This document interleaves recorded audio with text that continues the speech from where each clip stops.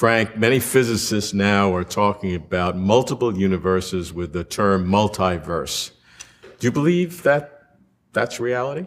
I believe in one version of the multiverse, namely the quantum mechanical multiverse. And how does that work? What quantum mechanics tells us is that if quantum mechanics applies to everything without exception, it's obvious it applies to atoms, but we physicists like to apply the same set of laws to all of reality. So it seems reasonable to me, many other physicists agree with me, that it should apply not only to atoms, but to chairs, to people, to this entire earth, to the cosmos. If that's true, then what must be happening right now is that out in reality, there are an uncountable number, an uncountable infinity of yous and me's having this same conversation.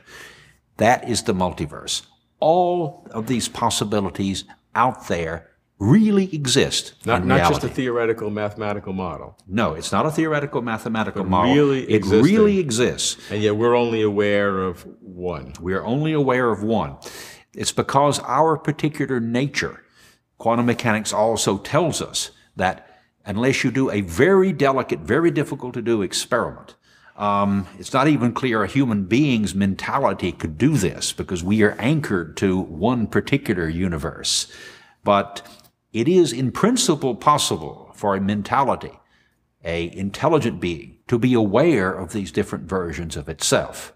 Um, and we can see these interaction, interacting versions really easily only at the atomic level. The atoms are not, as we are, so anchored to one particular universe. That's basically how quantum mechanics works. Electrons basically move back and forth between the just various to universes. Make it simple. In every given second, one second of what we have is seems like absolute time. We know it's relative, but in one second, how many different versions of our conversation will be uh, proliferating someplace? The way of thinking about it now, I think the more correct way, is that what we have are an uncountable number of yous and me's, which are at the start identical. We start this conversation all identical. But you will ask slightly different questions. I will answer with slightly different words. So what we would do is differentiate, oh, say, oh, 10 to the 30th different versions uh, per second. Um, an enormous number. It may be more than that. I haven't done the And that calculation continues recently. to, and that continues to It continues to Geometrically- differentiate, uh, geometrically increase. So the complexity of the multiverse, gigantic to start with, is growing with time. And you're differentiating between, uh, as a generator, between a, um, a branching in time and what seems to be like a differentiation because all of these different versions were sort of there originally and then some of those paths were chosen. Yes, I think that's the better way of thinking about it. I think the way we can try to picture this is with a little drawing here. Um, what you can see is that at the very beginning of time, everything, all of reality started at the initial singularity. Right there, okay. And everything sprang out of this initial singularity. Now, this represents one branch, and here is another. There are actually an uncountable infinity of such infinity, branches.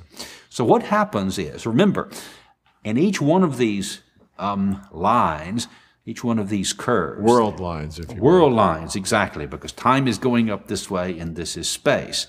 This pictures two different classes of universes, one of which reaches a larger size at maximum expansion than the other.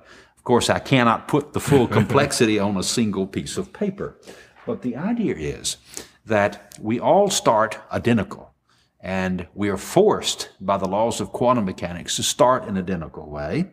What happens is the universe expands very rapidly out of this initial state. The, all of the different versions start to differentiate because the laws of physics now allow more complexity to exist. And as time proceeds, complexity increases even more. And the way that's expressed in the multiverse point of view is differentiation amongst the various histories. There are an uncountable number, an uncountable infinity of initial identical universes, which then start to differentiate once the reality comes out of the initial singularity. And these are all really real. They're really present. They're guaranteed to be present by quantum mechanics. Now, we are not, of course, aware of these other versions of ourselves.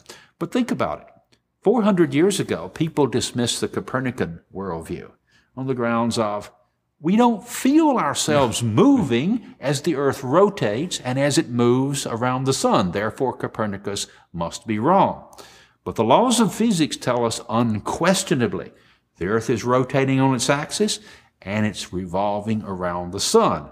We have finally accepted the laws of physics and we can see in our mind's eye the earth rotating as we see the sun come up and go down. Notice the ancient language. We're still using the ancient language in which it's the sun moving rather than the earth. We now can see, at least in our mind's eye, if we believe the laws of physics, the earth and not the sun move. Similarly, we should believe the laws of physics that tell us there is this uncountable number of other universes, uncountable numbers of yous and me's now undergoing this identical interview out there.